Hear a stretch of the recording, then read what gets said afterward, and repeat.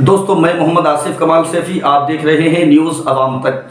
जी हाँ आज एक बहुत खास खबर से मैं आपसे मुखातब हूँ। वीडियो को ज़रा सा आप आखिर तक देख लीजिएगा। इसलिए कि बहुत खास मुझे आपसे बात करनी है। चैनल पे अगर आप पहली मरतबा हैं तो सबसे पहले आप इसको सब्सक्राइब कीजिएगा और घंटी के बटन को दबाना ना भूलिएगा, ताकि हर आने वाली वीडियो की नोटिफिकेशन आसानी के साथ आप तक पहुँचती रहे। मुझे बात करनी है दो अक्टूबर के हवाले से। हालाँकि दो अक्टूबर की तारीख तो गुजर चुकी है, लेकिन बड़ी खास तारीख थी दो अक्टूबर की। इसलिए कि दो अक्टूबर से पहले एक बाबा ने मोदी जी से एक मुतालबा किया था। वो मुतालबा मुतालबा क्या था मैं आपको बता दूँ। बाबा ने कहा था कि या तो 2 अक्टूबर तक मुल्क भारत को हिंदू राष्ट्रीय घोषित कीजिएगा, वरना हम जल समाधि ले लेंगे। 2 अक्टूबर की तारीख आई तो प्रशासन ने बाबा जी के घर का घेराव कर लिया और बाबा जी को कहीं निकलने नहीं दिया।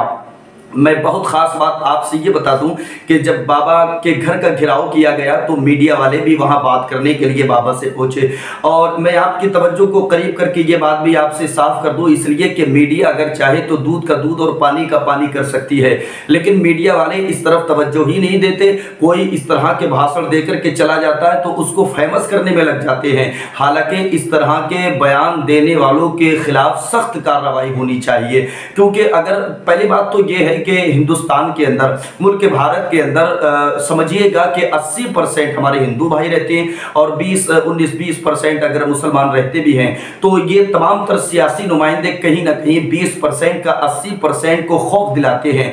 और रही बात हिंदू राष्ट्रीय की तो आप मुझे बताएँ जहाँ 80 परसेंट हिंदू भाई रहते हों मतलब हिंदू राष्ट्रीय की तरह ही तो होगा वो, क्योंकि 80 परसेंट अक्सरियत इन लोगों की है, अक्सरियत हिंदू भाइयों की है। तो अब इसको इस तरफ़ मुतवजह करते हुए कहा जाए कि हिंदू राष्ट्रीय घोषित कर दिया जाए तो कहीं ना कहीं ये हिंदुस्तान की भारचायकी को ख़त्म करने वाला बयान है। हालाँकि मीडिया वाले जाते हैं, फ़ेमस कर देते हैं और इस तरह के बयान लेकर के आते हैं कि उसको और ज़्यादा उजागर कर देते हैं। हालाँकि होना तो ये चाहिए था कि मीडिया वाले वहाँ जाते और जाकर के उनसे बात करते हैं कि तुमने ऐसा बयान क्यों दिया? मैं आपको बता दूँ, किसी ने भी ऐसा सवाल नहीं किया कि तुम हिंदुस्तान की एकता को खत्म करने के लिए, खत्म करने वाला बयान देते हो। जबकि बिने डूबे ने एक बयान ऐसा जारी किया है कि कहीं ना कहीं ये बाबा का ये बयान हिंदुस्तान की एकता को खत्म करना चाहता है। बिने डूबे ने कहा कि बाबा का ये बयान हिंदुस्तान की भाईचारगी को खत्म कर देना चाहता है। तो मैं आपसे बताऊँ, दो अक्टूबर की जैसे ही तारीख आई तो बाबा के घर का घिराव कर लिया गया और बाबा को प्रशासन ने अपनी हिरासत में लिया, यानी कि हाउस अरेस्ट कर लिया गया। तो मैं आपसे बताऊँ मीडिया वाले भी वहाँ बात करने के लिए पहुँचे, जबकि 2 अक्टूबर की तारीख में बाबा का ये कहना है कि मुझ पर किसी जिहादी ने आकर के हमला किया। और बाबा ने अपनी बुद्धि से ये भी पता लगा लिया कि वो हमला किया किसने। तो बात साफ़ सामने ज़ाहिर हो गई और बाबा का ये बयान है कि मुझ पर जो हमला कराया, जो जिहादी ने मुझ पर हमला किया, उस जिहादी को असदुद्दीन ओवैसी ने भेजा था। तो कहीं ना कहीं ये बातें जहन में घर नहीं बनाती। और कहीं ना कहीं हमें सोचना पड़ेगा कि इस तरह के बयान के मुल्क भारत को हिंदू राष्ट्रीय घोषित किया जाए। अरे भैया, हिंदू राष्ट्रीय घोषित करने की ज़रूरत क्या है? अस्सी परसेंट तो आप लोग हैं। बीस परसेंट कम्युनिटी मुसलमान कम्युनिटी के लोग रहते हैं।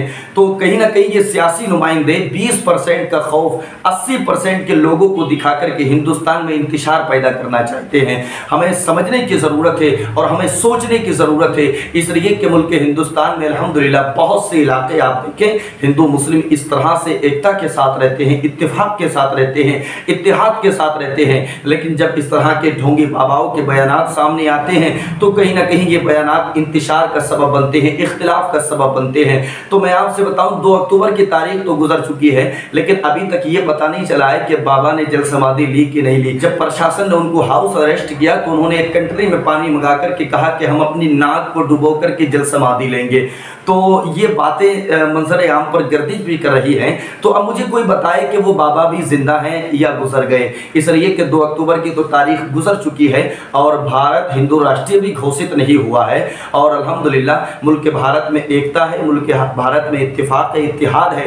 मैं हुकूमत हिंद से भी गुजारिश करूँगा कि इस तरह के बयान देने वालों को फौरी तौर पर सख्त कार्रवाई उन पर होनी चाहिए। इसलिए कि इस तरह के बयान मंजर आम पर आते हैं तो हिंदू और मुस्लिम के दरमियान में कहीं ना कहीं दीवार पैदा हो जाती है, दीवार खड़ी हो जाती है, जो कि हिंदुस्तान की एकता को तोड़ने का काम करती है। हिंदुस्तान के हिंदू मुस्लिम भाइयों के दरमियान में इख्तलाफ पैदा करती है। तो दोस्तों, ये थी आज की खबर जो मैंने आपसे शेयर की। उम्मीद करता हूँ कि ये खबर आपको अच्छी लगी होगी। और कमेंट में मुझे बताएँ कि बाबा के हवाले से ज़रा सी भी खबर आपको हो तो मुझे बताएँ।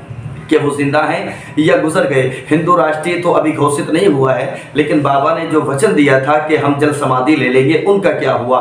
उसके हवाले से ज़रा सा मुझे आप कमेंट में बताएँ और मिलते हैं नेक्स्ट अपडेट के साथ। तब तक के लिए अल्लाह हाफिज़।